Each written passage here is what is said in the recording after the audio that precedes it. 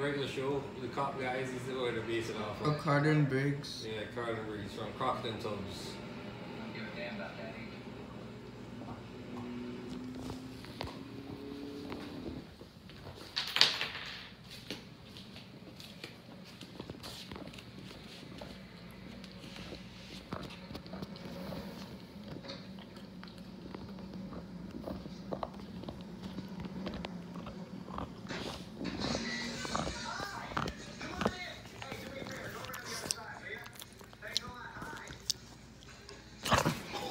crazy